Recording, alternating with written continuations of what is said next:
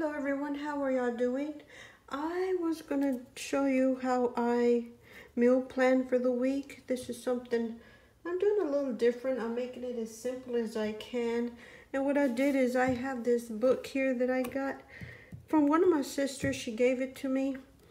And uh, I do like it. I'm gonna try to find if see if there's any other additions to this or or something because they're really simple recipes. I like a book that only has a few items and then it, in this one it does have a list of groceries that you may need uh, minus the staples you know. And uh, there's some really good recipes in here. That is one of them that i'm going to make this week. It's a skillet chicken pot pie.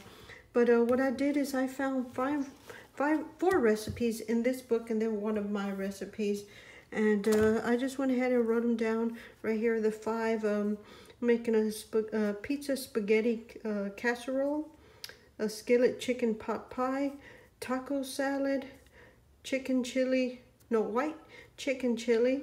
Then uh, my recipe is the meatloaf, which is pretty simple.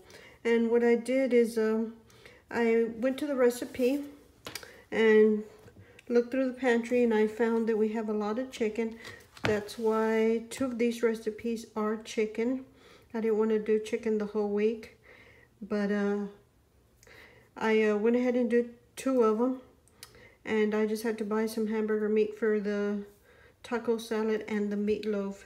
And then there's only pepperoni in the pizza casserole there.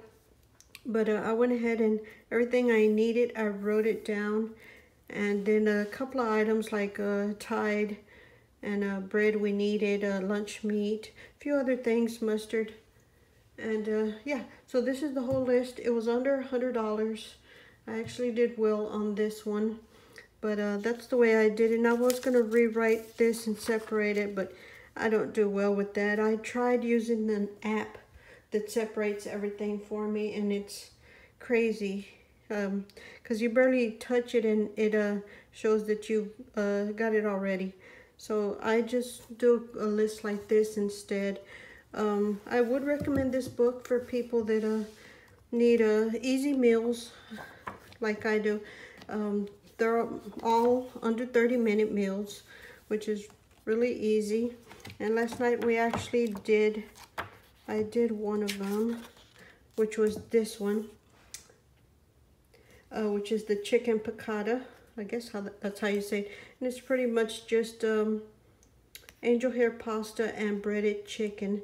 And it had a hint of lemon. That was really good recipe right there. But um, yeah, I like I say, this is a good book. It's from Southern Living. And yeah, but anyway, that's what I was doing today. And uh, yeah, anyways, Hopefully y'all enjoy this video. Thank y'all for watching. And we will talk to y'all later. Bye.